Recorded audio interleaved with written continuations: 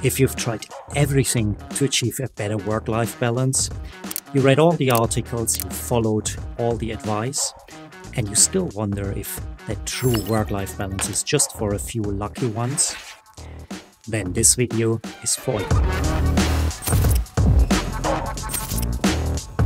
Work life balance in itself is quite a simple concept.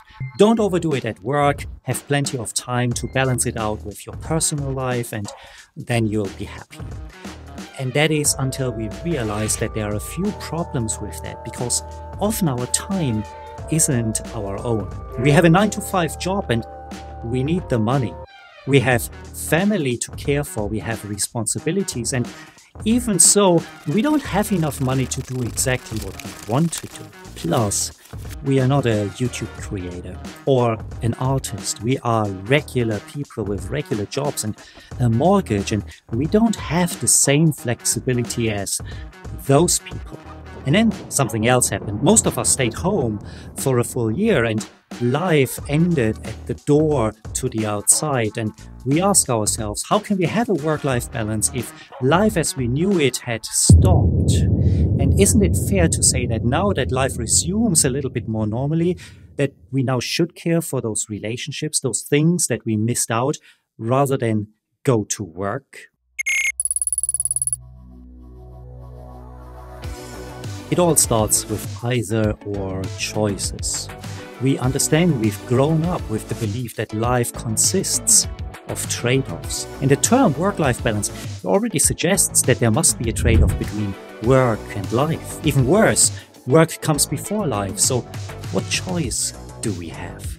And so we grow up in that knowledge and that belief that we have bills to pay, we have responsibilities to fulfill, and the only way to have true work life balance is to make the most of that other part of life, the personal side, after you've done your work. Elon Musk talked about it in one of his videos, and he says, Look, if I am at home and I'm really happy in my home life, I also go happier to work. I'm far more productive, I'm far more efficient. And equally, if I have work that is truly fulfilling to me, I feel much happier when I come home. I bring all that energy back into my home life as well. But rather to start with that big age old question well, what is my purpose? What is my vision? What can I change in my life to make this work better? Start with the small stuff. Remember the things that maybe you've done throughout the pandemic.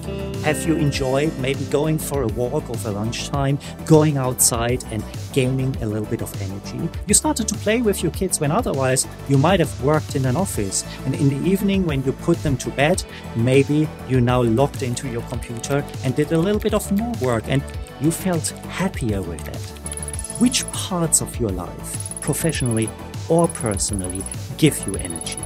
And when you find out which one it is, then you can form your work life balance around the things that do give you energy.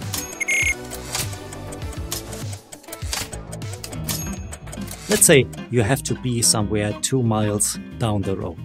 You have choices you can make. You can surely walk down, or you can take a little bit of money and buy a bus ticket and be there quicker. So, what has money actually bought you? It bought you time. You bought time back. When you go on holiday, you spend some money to gain time back for your life. So we realize that the true currency isn't US dollars or British pounds or Bitcoin, it is time. And yet we spend time far more carelessly than we spend money. See, with money, you always have an excuse because some other person has a lot more money than you have. But with time, we can't make that excuse because every one of us is given the same amount of time. Yet we very freely give our time away. We need to re energize ourselves after depleting our energy when we were at work, so we spend some time lying down. We give our time to social media, flipping through the pages that show us how somebody else's life is far happier than ours. And ultimately, we start ruminating about our life choices and that can be very tiresome. So rather than continue doing that, we flip over and watch a Netflix movie. One thing that many successful people have in common is that they have a sense of control over their own destiny and their time. It's interesting to me that a lot of successful people don't talk by themselves about work life balance. They're usually the one who are asked by others, How do you achieve so many things? How do you balance it all out in your personal life? But for them, it's not really that question. They make life choices, they make choices of how to spend their time. And you can do that as well. Take control back of some of your time. Not all of it, maybe 30 minutes. Maybe you can take 30 minutes of your time every single day to write or to create art, to do something that you find challenging. And maybe next month you can take an hour. Your brain starts to find ways to give you back control of your time. Maybe your company controls your schedule. I fly for an airline and it's scheduled flights. And yet, I can still take control of my time back for the times when I have to wait, for the times when I'm in between flights, and I can decide for myself how I wish to spend that time. And if you take control of your time in that way, you're creating a work life balance that works for you. But there is one question that you have to answer. You have to know how you want your life to look like, not how society expects it to look like, not how your friends and family expect you to live.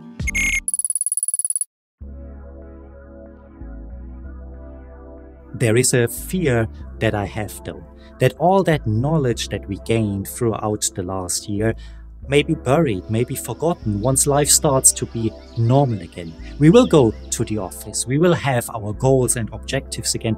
We have to pay bills, we have to pay our mortgage.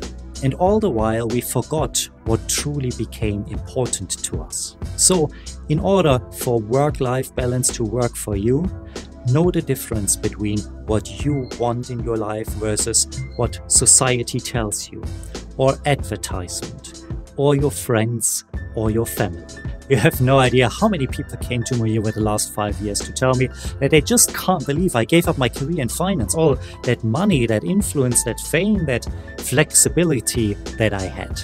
And yet, I wanted to challenge myself. I wanted to learn something new. I wanted to grow. But if I listened to society or my friends or what is accepted or makes financial sense, I would have never made any change to my life. And that is a scary thought because that's not what work life balance is about. So, what do you want? Let me know in the comment section below. I know that you can take control of your work life balance. You can realize that it's not an either or choice where you can integrate the two. I know that you can take back control of your time. And I know that you can defy those accepted norms and truly follow what's in your heart. And that is the one thing that I want for you that you follow what is in your heart. Until next time.